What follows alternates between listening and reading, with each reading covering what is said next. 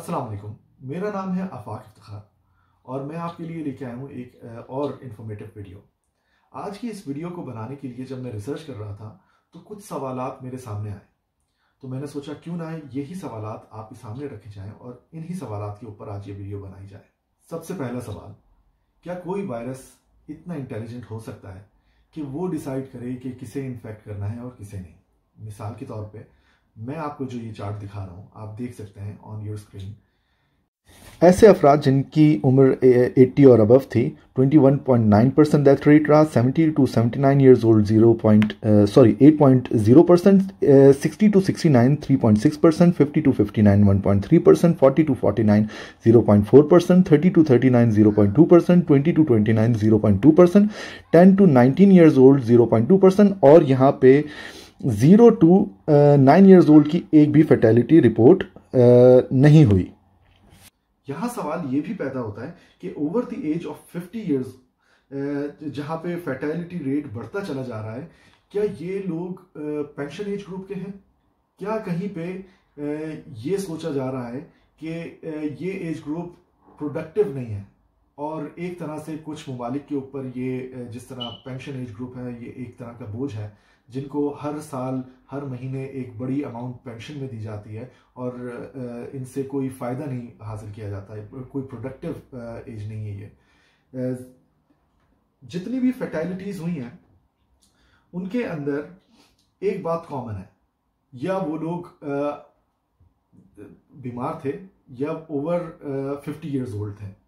जो बिल्कुल भी प्रोडक्टिव किसी भी सोसाइटी में नहीं माने जाते। जो प्रोडक्टिव किस्म के लोग होते हैं, जो वर्किंग एज क्लास है twenty to fifty years old उनमें दैट रेट बहुत कम है। क्या ये वायरस किसी ने खुद बनाया? इन सवाल को लेकर मैं गया कि क्यों ना इसके बारे में और रिसर्च की जाए। तो मुझे पता चला एज ऑफ़ टुडे एक लाख सोलह हज़ार चार सौ पैंसठ लोग अब तक इससे इन्फेक्ट हुए हैं, जिनमें से चार हज़ार इक्यानवे लोग अब तक मर चुके हैं। जिसके मुताबिक मेल यानी मर्द हजरात 4.7 परसेंट कन्फर्म केसेस और ऑल केसेस 2.8 परसेंट।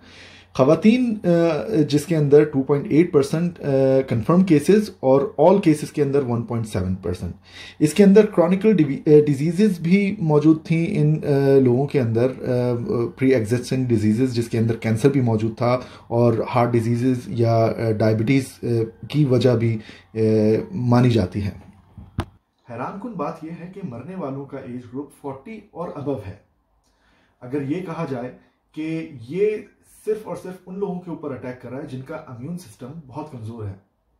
तो क्या ये सवाल दुरुस्त नहीं है कि बच्चों का और बूढ़ों का इम्यून सिस्टम एक बराबर होता है? इस सवाल के साथ मैंने कुछ और रिसर्च स्टार्ट की। तो मुझे एक जगह एक आर्टिकल मिला जिसके मुताबिक दुनिया ओवर पॉपुलेशन को बर्दाश्त नहीं कर पा रही है और इसका इकोसिस्टम बहुत ज़्यादा बुरी तरीके से इफ़ेक्ट हो रहा है। इन लोगों के मुताबिक दुनिया की कैपेसिटी चार बिलियन से आठ या नौ बिलियन तक इंसानों को कैरी करने की सलाहियत मौजूद है। फिर मैंने सोचा कि ये डेटा कौन कलेक्ट कर रहा है और इस डेटा को कलेक्ट करने का मकसद क्या हो सकता है।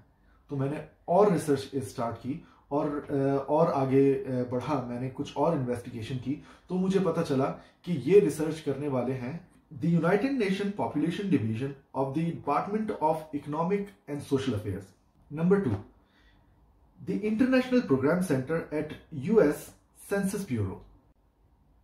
यहाँ पे सवाल यह पैदा होता है कि इनका इस सारे डेटा को जमा करने का मकसद क्या हो सकता है? इनके मुताबिक, दुनिया में अब तक जो रिकॉर्ड रखा गया है, उसके मुताबिक एक बिलियन 1804 के अंदर टू बिलियन 1930 के अंदर थ्री बिलियन 1960 के अंदर फोर बिलियन 1974 के अंदर फाइव बिलियन 1987 के अंदर सिक्स बिलियन नाइनटीन नाइन के अंदर seven billion two thousand eleven के अंदर uh, इसी तरह seven point eight billion two thousand twenty के अं, अंदर लोग पैदा हो चुके हैं और इस दुनिया के अंदर रहते हैं। आगे जो एस्टिमेट किया जा रहा है कि 2023 तक 8 बिलियन लोग होंगे 9 बिलियन लोग होंगे 2037 तक 10 बिलियन 2057 तक। इसी तरह world population out of control होती चली जाएगी। रिसर्च के मुताबिक 1960 से 1970 तक वर्ल्ड पॉपुलेशन ग्रोथ थी 2.5 परसेंट जो कि अब गिर कर रह चुकी है वन परसेंट। तो ऐसा कौन है जो ये प्लान करता है कि कब कितनी पॉपुलेशन हो, कितनी पॉपुलेशन ना हो? क्या ये वही ताकतें थी जिन्होंने वर्ल्ड वॉर वन किया वर्ल्ड वॉर टू किया और कुछ कंट्रीज़ के अंदर वन चाइल्ड पॉलिसी क्रिएट की, लेकिन वो भी कामयाब ना हो पाई? क्या ये ऐसे वायरस हैं जिनकी वजह से आप किसी को ब्लेम नहीं कर सकते। अगर किसी की मौत हो भी जाती है तो वो सिर्फ़ एक वायरस को ब्लेम करेगा। किसी मुल्क को नहीं, किसी शख्स को नहीं, किसी डॉक्टर को नहीं, किसी हॉस्पिटल को नहीं, या किसी रिलीजन को नहीं। इनके मुताबिक इतनी सारी पॉपुलेशन को संभालना आसान काम नहीं होगा। और अगर दुनिया इतनी ज़्यादा ओवर पॉपुलेटेड हो जाती है तो इनके लिए रिसोर्सेज कहाँ से आएँगे? कमाल की बात तो यह है कि जब तक आप ये वीडियो ख़त्म करेंगे, तकरीबन 10 मिनट की इस वीडियो के दौरान तकरीबन एक हज़ार लोग पैदा हो चुके होंगे, जिनमें से पाँच हज़ार के करीब अमवात होंगी। उम्मीद करता हूँ आपको आज की वीडियो पसंद आई होगी। अगर आपको इस वीडियो के हवाले से या कोई और सवाल आपके दिमाग में मौजूद हैं तो प्लीज़ मुझे ज़रूर बताएँ और उन बातों को लेके भी मैं कोई वीडियो बनाने की कोशिश करूँगा या आप लोगों का जवाब ज़रूर दूँगा। शुक्रिया। मिलते हैं अगली वीडियो के अंदर। अल्लाह हाफिज़।